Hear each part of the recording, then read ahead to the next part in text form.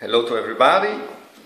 Uh, this is the day when I'm going to show you how to recarve these wood pulp ornates. Okay, I'm trying to give them with uh, these tools, these tools that you can see here. I'm trying to give to the ornates uh, more sharpness. You see, all those parts of the carving are not very sharp.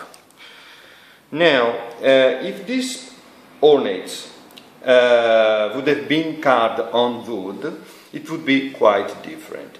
Because as you know, the carving uh, on wood is uh, more sharp. So now I'm trying to, to, uh, to do this. Okay, we start.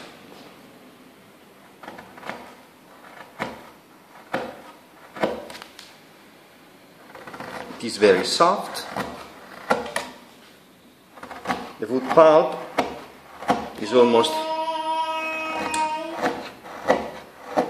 is almost made by the, by wood because you know is made from the wood dust and mixed with some special chemic.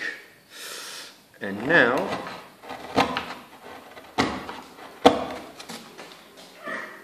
it's very very soft to be carved again. So you can see how change actually the shape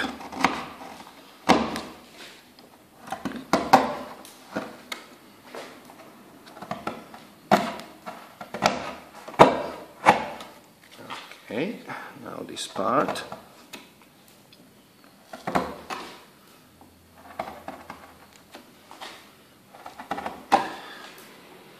The wood pulp is really good. You don't have to be worried about um, about how it's made because it's quite uh, it lasts long time as the wood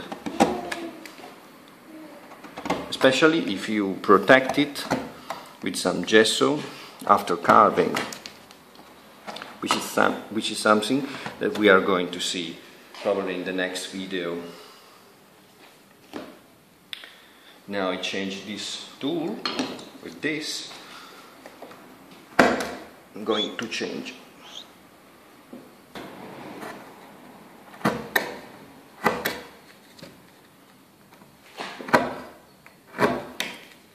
here you can see I'm changing quite a bit the shape